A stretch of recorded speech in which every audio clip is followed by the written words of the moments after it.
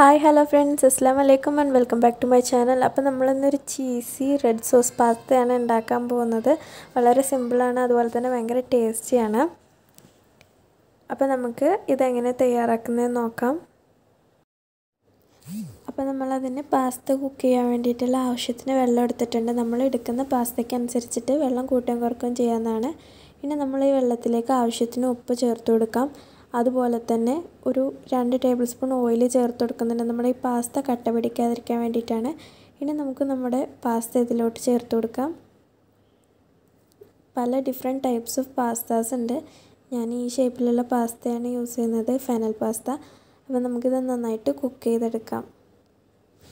ഓരോ പാസ്തക്ക് different cooking times ഒക്കെ വരുന്നുണ്ട്. അപ്പോൾ ഈ പാസ്തയ്ക്ക് ഞാനൊരു ഇരുപത്തഞ്ച് മിനിറ്റോളം കുക്ക് ചെയ്തെടുത്തതാണ്.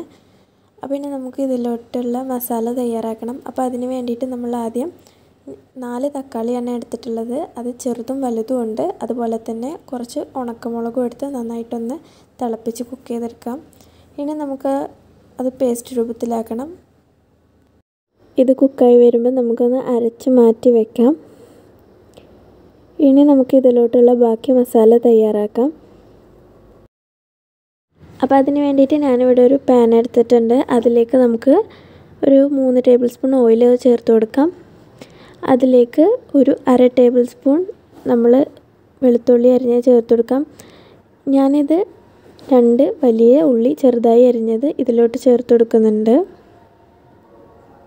ഇനി നന്നായിട്ട് ഇതൊന്ന് വഴറ്റിയെടുക്കാം.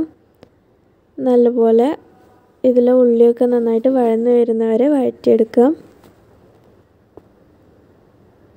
ഇനി നമുക്ക് ഇതിലോട്ട് ആവശ്യമായ ഉപ്പ് ചേർത്ത് കൊടുക്കാം. ഞാനിതിലോട്ട് ഒരു ടേബിൾ സ്പൂൺ കുരുമുളക് പൊടിയും അതുപോലെ തന്നെ ഒരു ടീസ്പൂൺ ചില്ലി ഫ്ലേക്സ് കൂടി ചേർത്ത് കൊടുക്കുന്നുണ്ട്. ഇനി ഇത് നല്ലപോലെ മിക്സ് ചെയ്ത് കൊടുക്കാം. ഇനി നമ്മൾ നേരത്തെ അരച്ച് വെച്ചിരിക്കുന്ന ടൊമാറ്റോ ചില്ലി പേസ്റ്റ് നമുക്ക് ഇതിലോട്ട് ചേർത്ത് കൊടുക്കാം. എന്നിട്ട് ഈ പേസ്റ്റ് നന്നായി ഒന്ന് വഴറ്റി ഈ മസാലയായിട്ട് നമുക്ക് യോജിപ്പിച്ചെടുക്കാം.